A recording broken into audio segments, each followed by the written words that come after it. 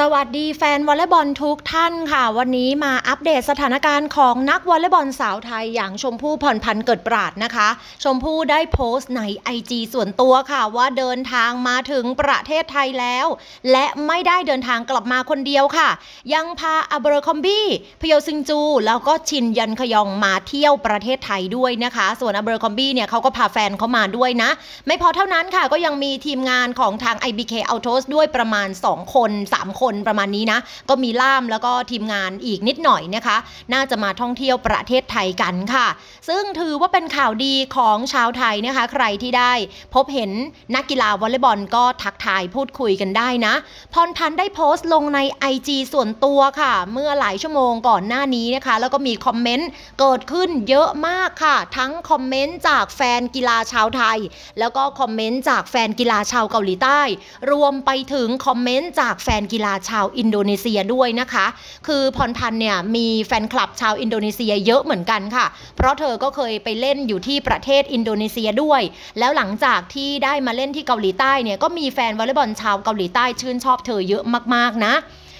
comment เนี่ยก็จะเป็นแนวที่ยินดีต้อนรับสู่ประเทศไทยนะคะ แล้วก็เที่ยวให้สนุกนะ แล้วเขาก็บอกว่าดีใจจังเลยบริต a นีอับเรคอมบี้มาไทยนะคะ บางคนก็บอกว่าอยากจะรู้จังเลยไปเที่ยวที่ไหนนะ แล้วก็มีคนแซวแซวชินยอนขยองนะคะ เขาบอกว่าลูกเจ้าของสโมสรก็มาด้วยประมาณนี้นะคะ แล้วก็มีคนชมพยศซึงจูค่ะ บอกว่าปล่อยผมแบบนี้น่ารักมาก ๆค่ะ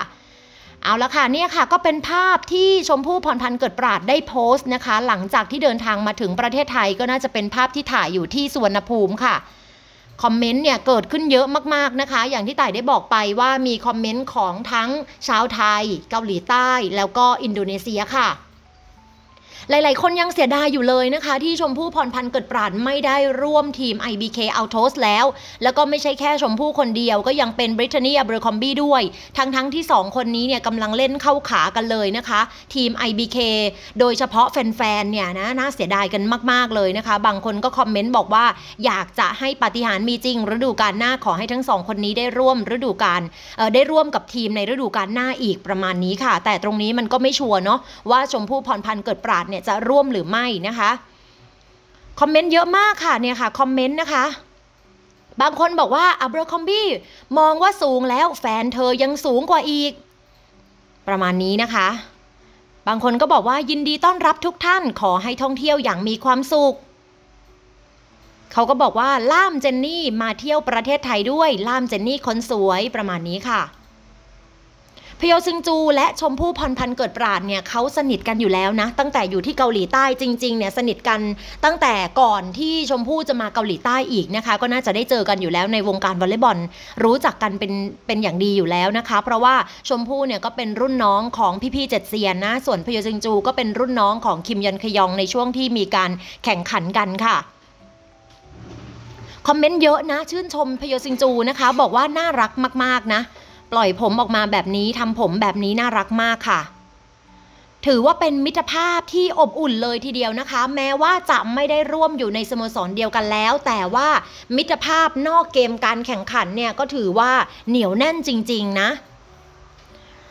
เขาก็บอกว่าผู้สุดยอดพาเพื่อนมาเที่ยวประเทศ เท่ากับว่าหาเงินเข้าประเทศด้วยนะคะ นี่มองในภาพเศรษฐกิจนะ ก็ถือว่ามีแต่คอมเมนต์ดีๆทั้งนั้นเลยค่ะทุกคน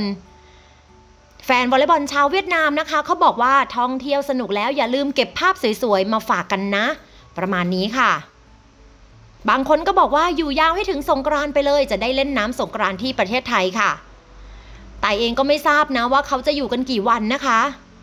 ก็ถือว่าเป็นการมาของนักกีฬา วอลเลย์บอลที่เรารู้จักหรือว่าคุณหน้าคุณตาเป็นอย่างดี แล้วก็อับอราคอมบี้นิสัยดีด้วยพโยซิงจูก็น่ารัก ชินยันขยองก็น่ารักค่ะ ก็ขอให้ทุกคนเที่ยวอย่างมีความสุขนะคะ ล่ามเจนนี่มาด้วยค่ะ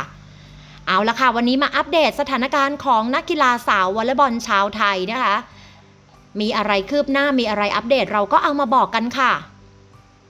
ขอขอบคุณสำหรับการติดตามรับชมนะคะ เจอกันใหม่คลิปหน้า สวัสดีค่ะ